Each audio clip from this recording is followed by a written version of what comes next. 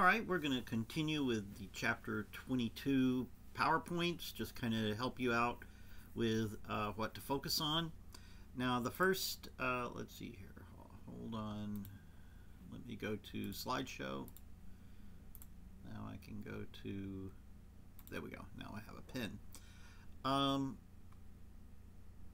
let's go back to where we left off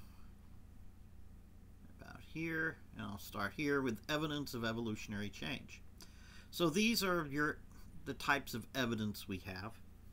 And uh, let me start with the fossil record. I'm not going to review the fossil record much. Um, actually, I'm none. I'm going to let you watch the movie. There's a movie that I'm a documentary that I'm going to have you watch, and they discuss what Darwin did in South America and from that you can get an idea of how the fossil record is used to uh, determine uh, how evolution occurs and uh, the proof from there. Uh, I think the Darwin example is a really good one. So when you watch this movie, it's called What Darwin Never Knew. I'm going to have it linked uh, on the page. You'll need to watch this documentary. And uh, early in the movie, they will talk about South America. And Darwin did not just visit the Galapagos Islands, but he also went to South America and he noticed some uh, some fossils there, and uh, he recorded that hey, there used to be some uh, large animals deeper in the fossil record, but today we don't see those those those animals. They don't look the same. They're much smaller, uh, and in fact, there's a giant sloth. Uh, there are cases of armadillos. And uh, of course, they used to be giant creatures, you know, the size of a car at one point, and today, well, they're tiny animals. And so this is uh, part of the fossil record that uh, Darwin uses to support uh, his concepts of natural selection and ultimately evolution. Uh, and this also has to do with biogeography. As the geography changes, the organisms change. They adapt to how the the environment changes. So that's nothing new.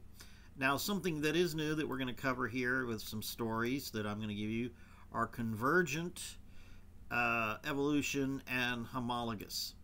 Uh, so I'm going to, this term, not homologies, uh, I'll just call it homologous versus convergent.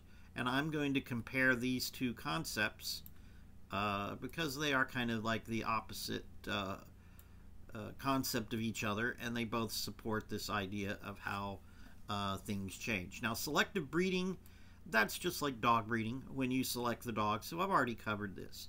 So, really, what we need to talk about very briefly, or maybe not so briefly here, is the convergent and homologous uh, con concepts. So, the con concept of convergent evolution and homolog uh, homologous evolution.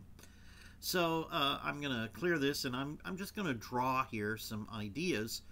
Uh, and I'll start with the convergent. Let's see, I'm going to clear the screen. Let's see. There we go. And I'm going to start talking about this, convergent evolution. Uh, convergent evolution, there are two different ideas. There, we have to understand that the environment shapes how organisms change. All right, so we have to understand the environment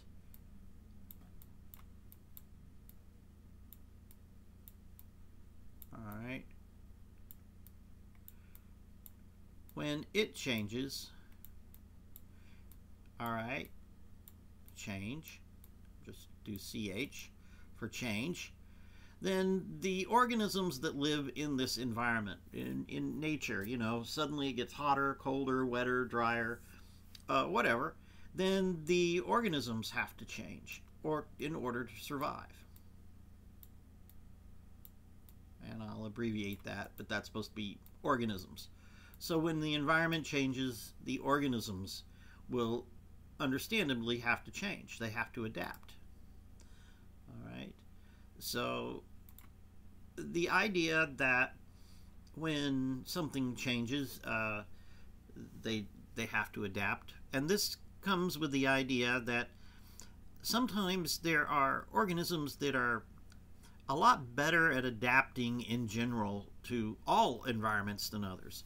So I'm just going to call this the concept of the good idea. So let's say there is an organism um, that appears, all right, and it has a really useful adaptive advantage.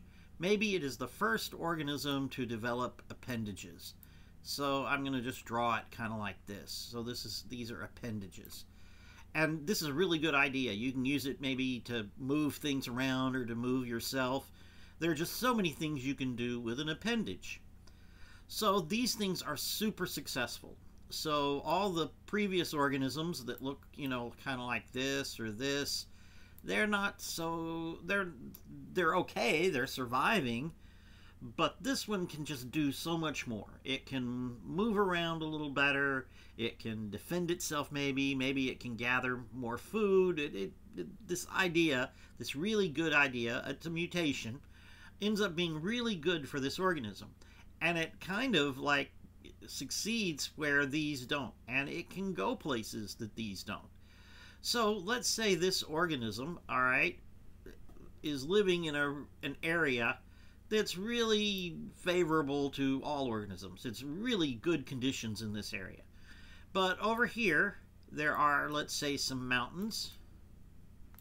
And over here, there is a swamp. I'll just kind of draw it, kind of get the idea that there's a swamp there. And over here, there's a forest.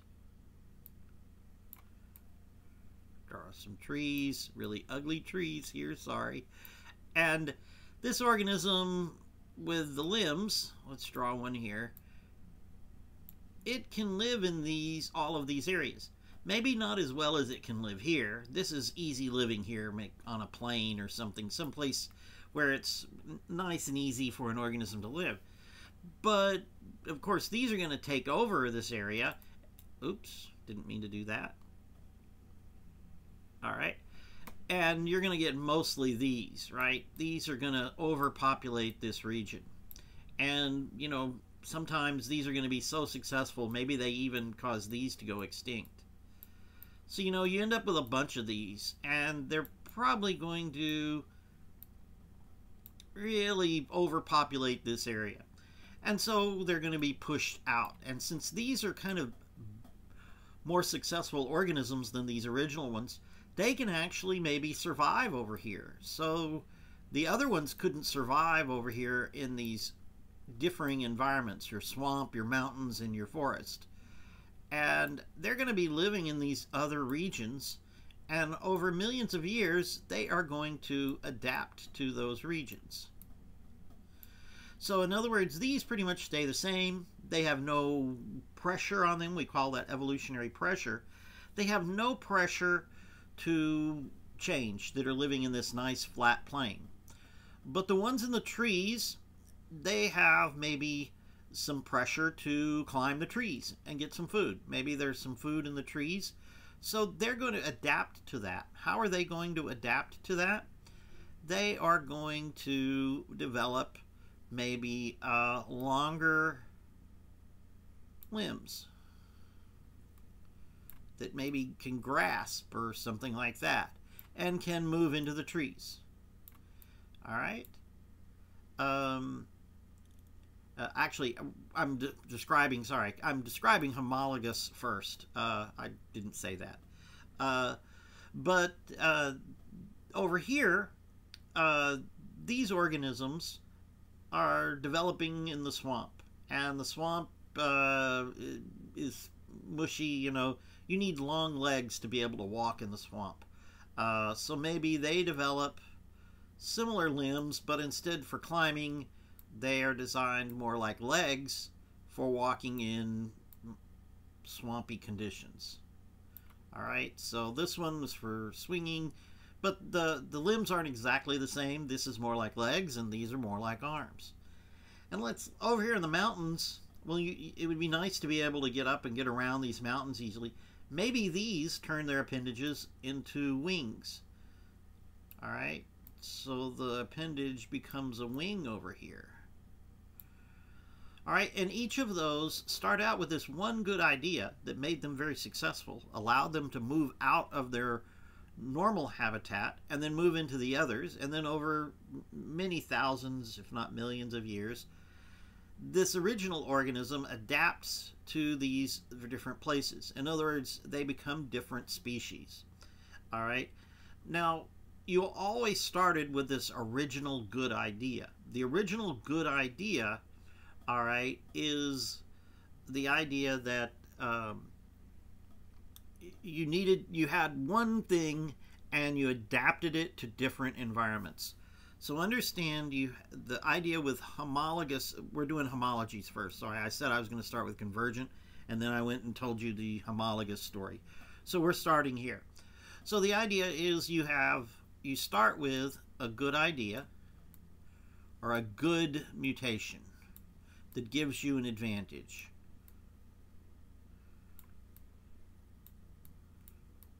In this case, the idea here is an appendage. You know, maybe another good one to, to survive someplace uh, would be to have multiple appendages, like most animals. Maybe you have three or four on each side. That would adapt to a different place. Uh, so, you know, many different ways you could use this concept of an appendage uh, to survive in different environments. But they all started out with the original one here. And so this is called, these appendages are called homologous structures. Homologous. So if something is homologous, it means that at one point you had an ancestor that had a basic version of whatever your advantage is and it, it it's still with you but it has changed from your ancestor all right and then you might have like a cousin over here who moved someplace else and they took that same first time advantage and turned it into something else so all of these all of these have a homologous structure in that their appendages are similar but not quite the same. And we call these homologous. So in other words, here these swinging arms and these uh, swamp walking legs and these uh, wings are all homologous to one another. And they all, it's because they all came from an original good idea way back in an ancestor that you had that first got the appendage, and then each one of these organisms, they became different species, and in doing so, or what why we call them different species is because they used this good idea in a different way and from this homologous structure. So all of them have homologous limbs, if you want to call it that. So these limbs are homologous, these organisms are homologous, and in the sense that they have a common ancestor that had a common structure and then each one of them moved somewhere and used that structure in a different way. So you need to understand the concept of homology. All right. So what what are like humans? Humans and cats. Well, your arms are homologous to the front legs of a cat. Your legs are as a human are homologous to the hind legs of a cat. All right, those are homologous structures. All right, uh, the uh, the fins on a whale are homologous to the arms on a human. It's hard to believe. And then whales, of course, just lost their legs. They don't have legs anymore, but we still have a homologous structure uh, in the front limbs. In other words, our arms are homologous to the uh, flin, fins, flippers, I guess, uh, whatever you want to call them, of a whale.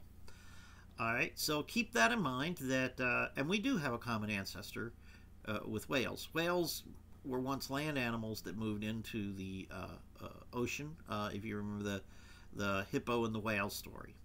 All right, so that's an idea. You need to understand homologies or homologous. And so it can be at the chemical level, molecular, it can be at the developmental level or it can be anatomical. This is an anatomical version of it.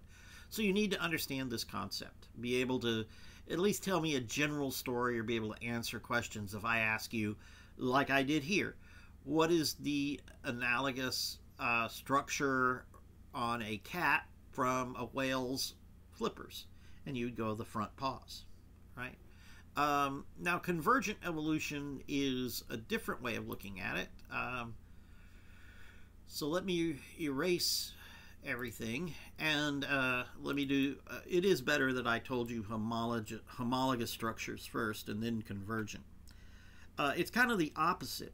Here you have two organisms, let's say, that live in different places, all right, but move into a new one. So this is the new area.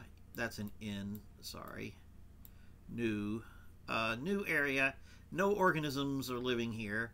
And we have two types of organisms. We have a round organism and we have the square organism. And they are not related, uh, at least in recent history. So they both move into this new area. But let's say they move into this new area, and uh, I won't say that there are no organisms. There, there is a predator um, like this. I'll just draw something here to, to symbolize a predator. So in other words, they move here, and this is a good place to live, but this thing will chase them and try to eat them. So in other words, they are both under, when they move in here, they are both under a stress. That stress from the environment is the predator. All right, sometimes you think of a stress as, uh, you know, too dry, too wet, too, uh, too hot, too cold. You get stresses from other organisms as well. And those stresses come from, like, this predator that hunts them down and eats them. So they are trying to develop something to get away or protect themselves from the predator. And if this particular predator is, say, a ground organism, maybe the only way to get away from it is to develop wings. Now you can see that neither of these have appendages, but maybe that's what they have to do they both, to get away from the predator, they evolve to have wings. All right, and here your square one also develops wings. They might not be the same exact structure, but they function the same, and that's the key here. Before you had same structure develops new new uh, new function. That was in homologies. So homologies were same structure. That's same.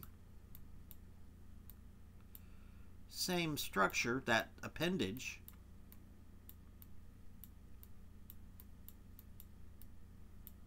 All right. But when they moved to a new place, they developed new functions. So functions whether it was into wings. Here, oops, what we're going to do in convergent is these two are going to converge. They're both going to develop a new structure with the same function. So both of them have a stressor on them that make them need a new function. They need to fly. So it's going to be same function and it leads to new structures. Same function, but new, all right, structure.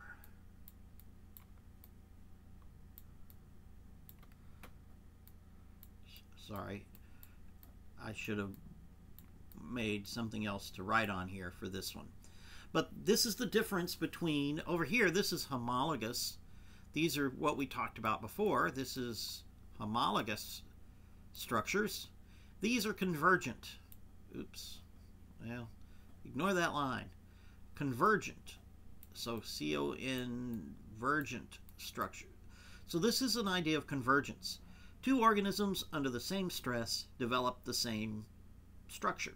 They develop wings.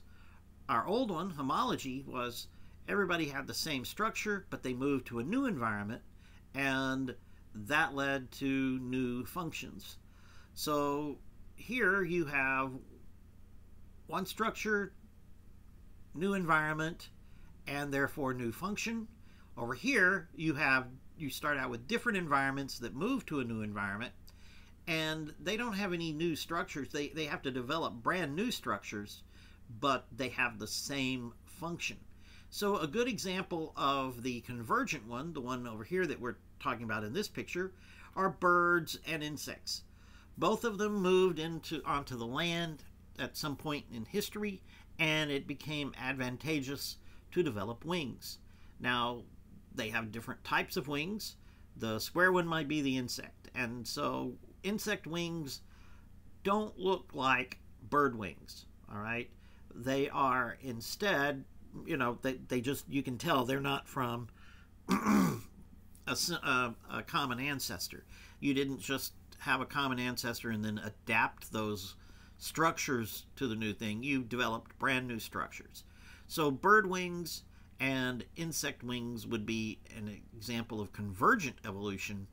Uh, homologies would be more like the cats and the humans, all right, where the front paws and the arms are essentially uh, homologous. But convergent would be two sets of wings, one being from an insect and one being from a bird. Another good example are bat wings. Bat wings, insect wings, and uh, bird wings all develop from different structures. Those are instances of convergent. They all organisms found the need to fly, uh, found it advantageous to develop these structures, but they did it in a completely different way. the The need was there. the the The environmental stressor was the same. All right, when they had need to get into the air, but all three organisms did it a different way. Um, and that is different from convergent. So you need to be able to compare and contrast convergent and uh, homologies. So the idea of convergent evolution and homologous structures or homologous evolution, those are the two competing ideas here on each side where it involves environmental stressors, but it involves, uh, one of them involves all, all organisms going to different environments and taking this kind of good idea and changing it in a different way in each environment. That's homologous.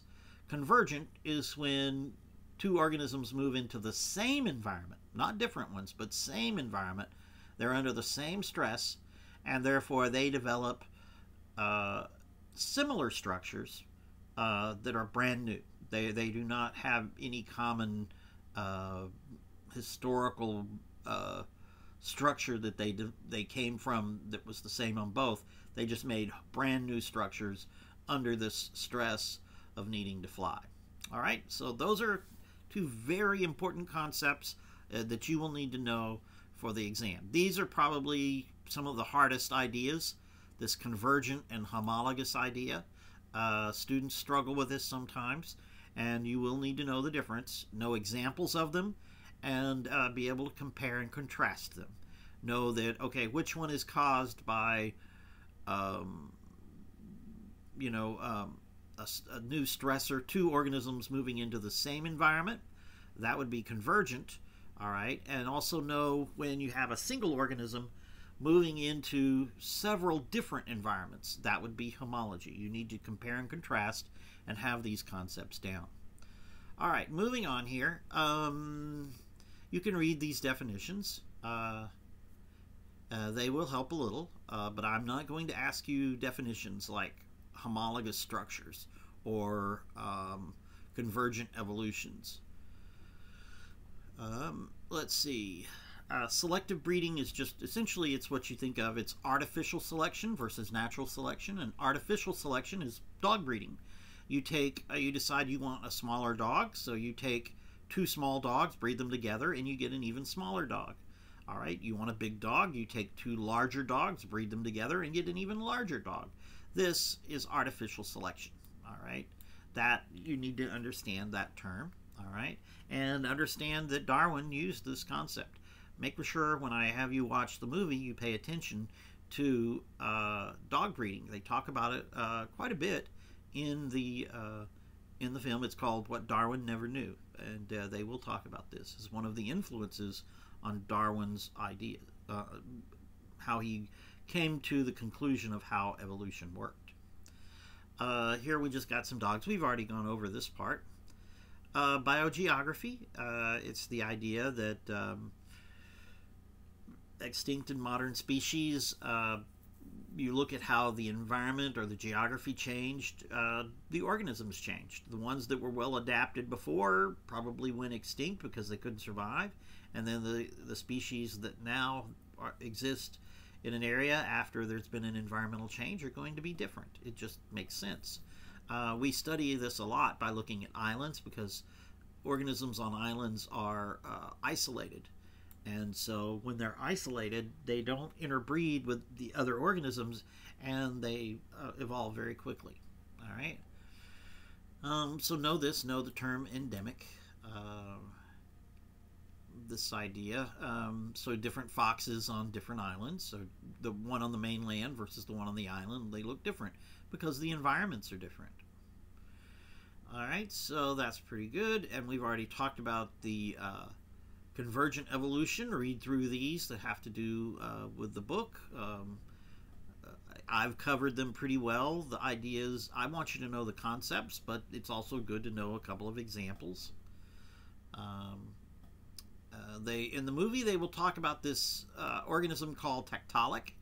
Uh, here it is, and so when you start to read the uh, or watch the movie, uh, pay attention to this organism. I will probably ask you a few things about Tiktaalik from the movie.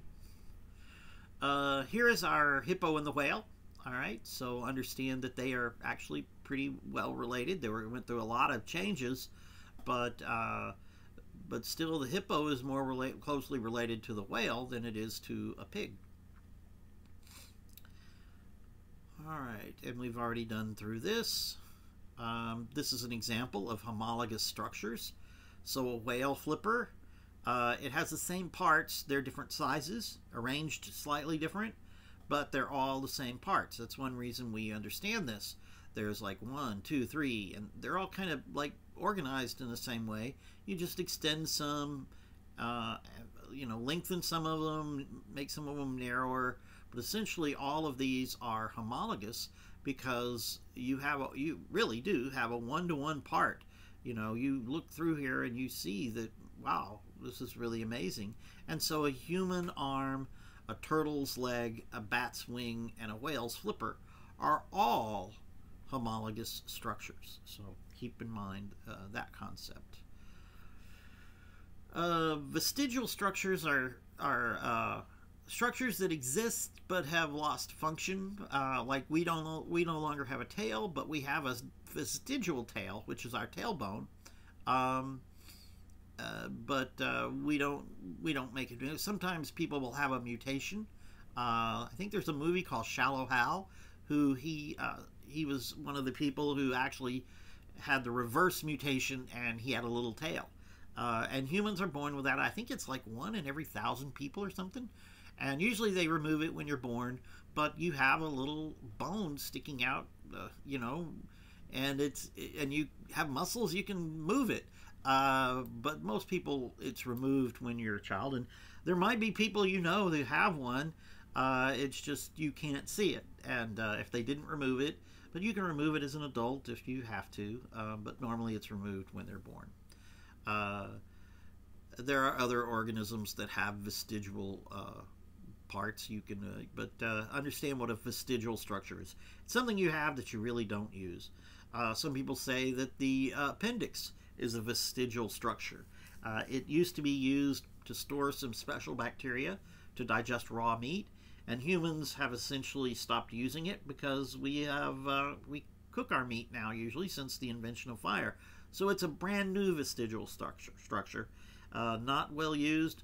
Maybe some people still use it. Uh, uh if they eat uh, very raw meat, uh, you store special enzymes to help digest. usually tendons and ligaments if you're eating a lot of, of really tough meat and uh, those organisms, uh, we now that we cook meat, uh, not as useful. All right, uh, we won't talk too much here. Uh, developmental, you get the idea. Molecular, this is the same idea with chemicals instead of uh, like arms and uh, legs and, and structures instead of physical structures, you can chemically have biochemical enzymes, proteins that that work and are uh, similar. We have one that we have lost. We have lost the ability to, uh, pathway to make vitamin C. Um, I don't have time to give you that story, but it is an interesting one where humans uh, found that they could get more calories out of food if you actually didn't use the if you didn't make uh, the last enzyme for synthesizing vitamin C. So during an ice age, it is thought that humans lost this enzyme. Uh, somebody had a mutation that uh, no longer gave them the ability to make their own vitamin C. They had to get it out of the food they eat, uh, which is fine. You can survive by just eating it from the food, but uh, not as efficient. But the thing is, when you eliminate that enzyme, you can uh, get more calories out of your food. So during an ice age, you need calories. All right, you may not get a lot of food. The vitamin C, hopefully, you can get from your food that you're eating, and instead, you need more calories. And so, it is thought that humans, or some ancestor of humans, uh, lost the ability to make vitamin C so they could gather more calories from their uh, from their food. Uh, I would love to turn this one back on.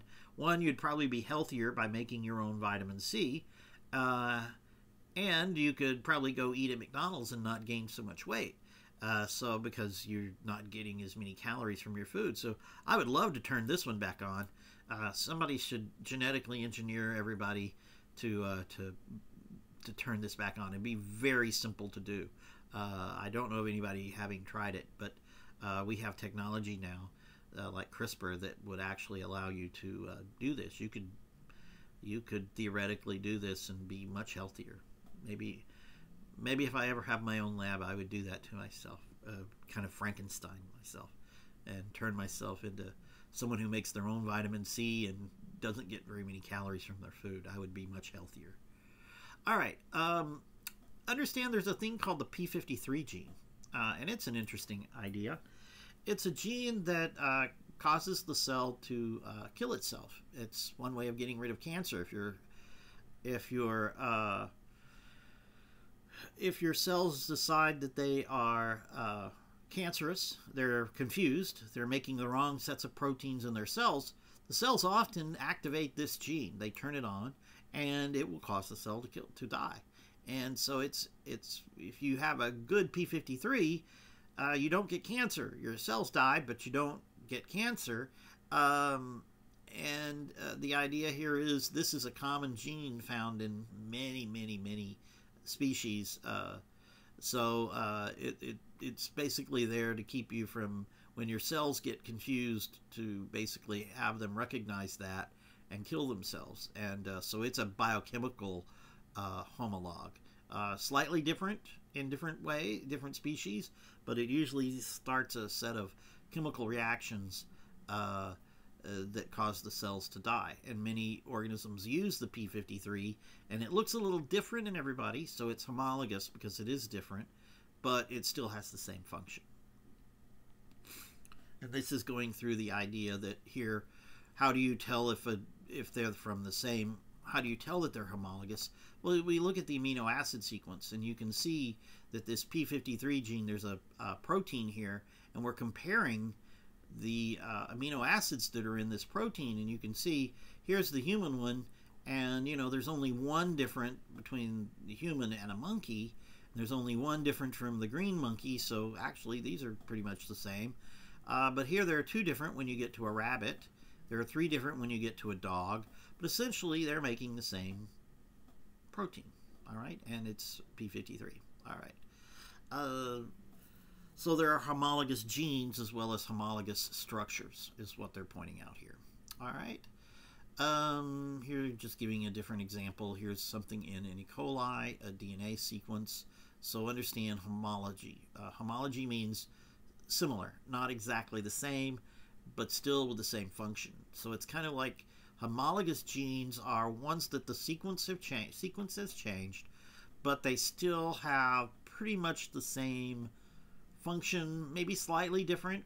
All right, uh, but they originate, It's clear that they originated from the same gene in an ancestor. Uh, and you can memorize these topics. Uh, there's a chance for a multiple choice or a, uh, a true false on some of these. Um, horizontal gene transfer. Uh, realize that for humans, we we mix genes using sexual reproduction. You get half of your genes from one parent. We did this in, in genetics. But bacteria don't divide. They don't reproduce that way. There's no sexual rep reproduction here. Uh, instead, they use uh, they divide, right? So uh, bacteria just splits itself in two. Two daughter cells from the original. They're just copies of one another. But there is a way to transfer information uh, through. Uh, um, oh, um, I've forgotten their name. Uh, the little loops of DNA. Uh, we had it in the last test. Um, wow, completely blank here. Uh, so you have your main main part of your DNA, your your supposed the chromosome, but you have the uh, little loops, and those can be transferred horizontally. And uh, just be aware of that. If you didn't remember it from the last exam, it will might crop up on this exam as well.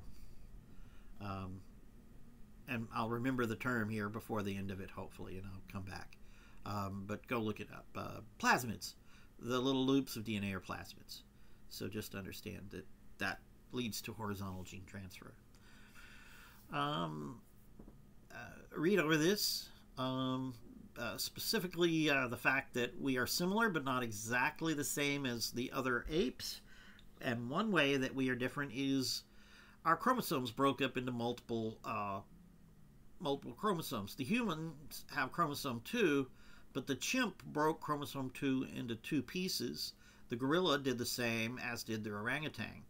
Either this happened, either we had a common ancestor that broke them apart, or humans fused them. Uh, it's more likely that they broke apart. So at some point, uh, humans had the same ancestor as chimps, gorillas, and orangutans, and they all had one large chromosome 2. But what happened, uh, we had someone, some organism, uh, one ancestor, had a uh, had a break in a chromosome, and those all ended up being the apes, all of that organism's ancestor, whereas humans continued down a different line. All right. And we're done here with chapter 22. I'm going to give you the link to this one in, on the announcements, as well as a link to what Darwin uh, never knew, uh, the video. And you'll need to watch those ASAP for the final exam. not the final exam, I'm sorry, for the, uh, for the last exam.